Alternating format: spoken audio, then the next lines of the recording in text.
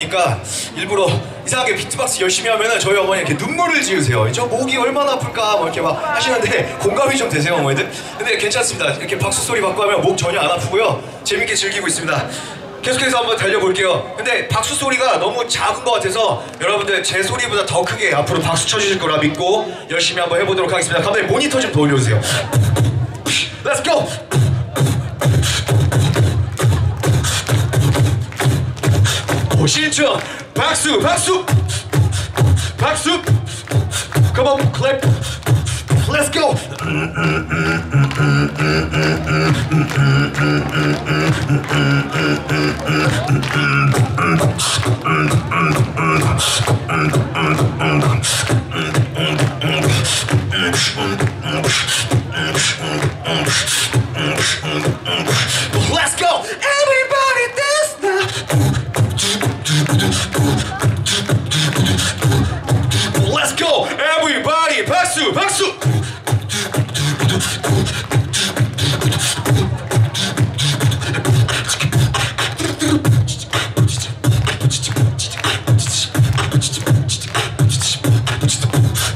Hold on, Nabi.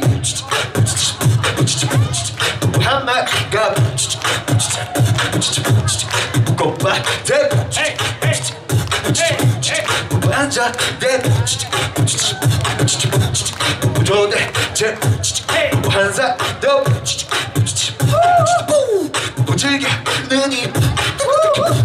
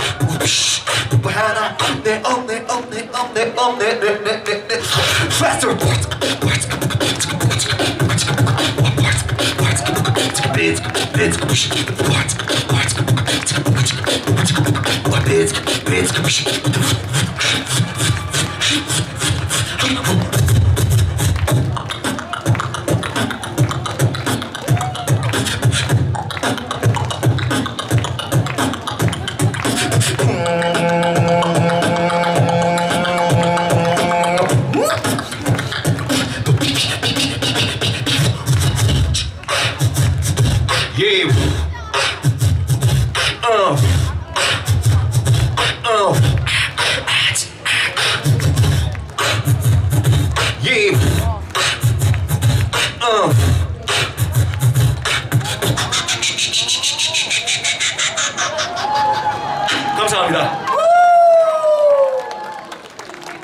제가 태어난 고장이자 이 비트박스를 시작한 게 13살 때였는데 어, 학교 다니면서도 계속 열심히 했고요. 이게 제 고장에서 선을 보이니까 네, 더욱더 감회가 새로운 것 같습니다. 그러한 기념으로